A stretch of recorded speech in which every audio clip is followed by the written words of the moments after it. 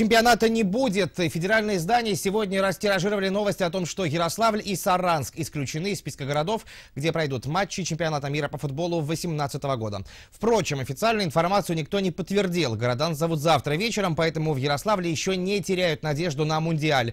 Мой коллега Александр Рябков в этом сегодня убедился. Ярославль вперед. Только Шинник, только победа. Только Шинник, только вперед. Только Ярославль, только Ярославль. На площади юности сегодня прошла акция за проведение в Ярославле матчей чемпионата мира. Собралось несколько десятков человек. Пикет, возможно, был бы более многочисленным, если бы не разочаровывающая новость о том, что Ярославль якобы уже лишился шансов на чемпионат мира. Эту информацию, кстати, сегодня официально опроверг министр спорта Виталий Мутко. Все должно определиться завтра. Мы хотим, мы же жители города, мы хотим, чтобы здесь был чемпионат, мы делаем.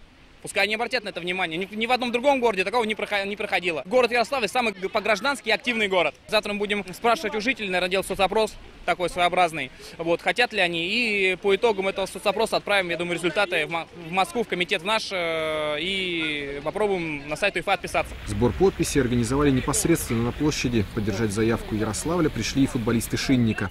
Естественно, мы должны, как э, единственный футбольный клуб в Ярославской области, должны поддержать. И, конечно, мы надеемся на то, что завтра будет официальное уже решение, конечно, в пользу нас. И от нас, конечно, мало что зависит, но, естественно, мы хотим этого и желаем. Я думаю, что весь город этого хочет, потому что провести чемпионат мира в нашем городе, я думаю, это большое событие. В составе «Шинника» один из самых ярых сторонников ярославской заявки – Алин Дри.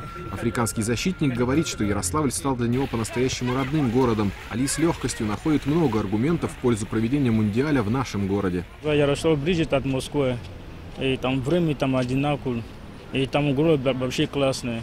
Стадион все, там инфраструктура там замечательно. Если выбрал Ярослав, город уже тысяч лет был, и там не старый город, но красивый город. Просто надо выбрать Ярослав. Я очень переживаю за город, потому что после заградился, я сразу приехал, прилетел в Ярослав.